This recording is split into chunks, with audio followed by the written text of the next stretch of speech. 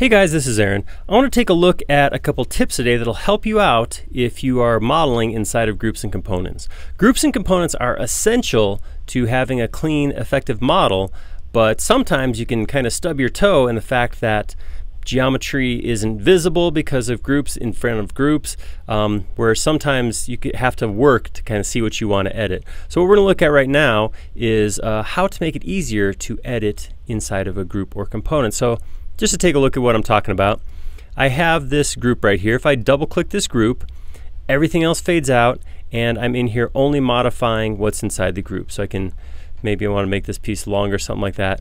I can make that change. I can't come out here and interact with anything else on the outside. If I click outside of this dotted box, it closes the group. So one thing you see right away is that the rest of this model is grayed out. This is all a function of my model info. If I come up to my window and click on model info, in model info I want to look at the components tab and I have a couple sliders here. The first one I want to look at is fade rest of model. You see I have a little slider here. Sliding this back and forth determines how pale, how washed out the colors are on the rest of the model when I'm editing inside of a component or group. So if I slide all the way up, it looks just exactly the same. Slide all the way down, it turns kind of a whitish color. So I generally find about, you know, maybe a quarter of the way up is, is about right for me.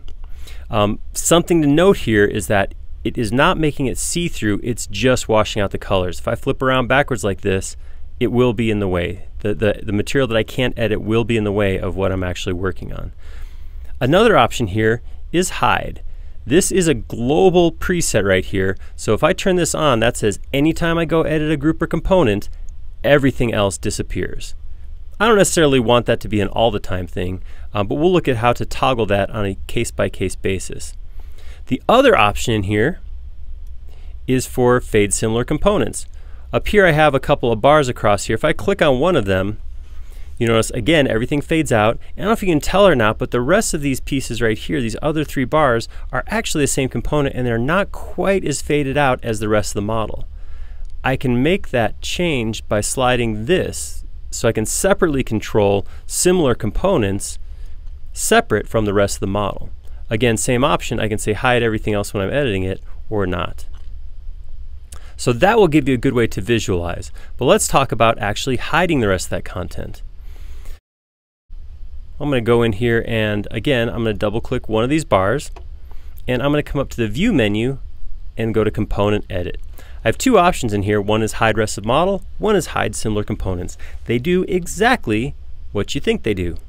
So in this case, if I click hide rest of model, the rest of the model goes away. So if I needed to uh, maybe shorten this because it was running through before, so I'm going to go ahead and push that back, I can see, okay, this moved and all the rest of those moved too. They all got out of the way when I did that push-pull. I want to align that to the inside of that vertical piece I had, but it's gone now. So I want to come back up to View, Component Edit, and turn off Hide Rest of Model. And now I can push, pull out, and snap. I'll zoom in here. Snap to the face right there. So having that as a toggle where I can flip it on and off real quickly is a very big help. So one of the things that a lot of people do, you've probably actually seen this if you've watched our videos in the past, is map that command to a hotkey. So what I'm going to do real quick is I'm going to do just that. I'm going to open up my preferences window. Preferences is under SketchUp on Mac or Windows on Windows. And what I'm going to do is I'm going to come in here to my Shortcuts tab and I'm going to search for the word hide.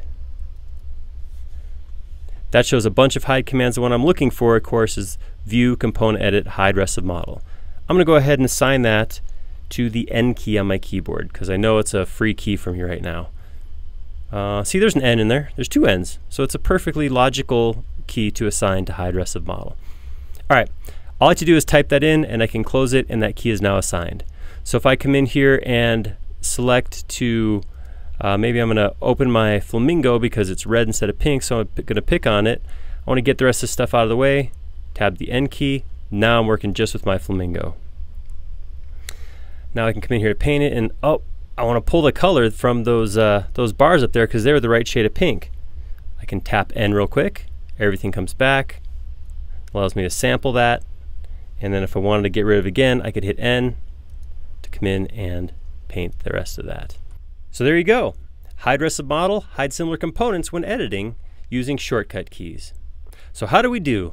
Let us know in the comments below if you liked what you saw or if you have some other ideas for Skill Builder videos. While you're there, go ahead and hit subscribe or give us a like. That way we'll know that you like what we're doing and can make more videos that help you with what you want to see. Thank you.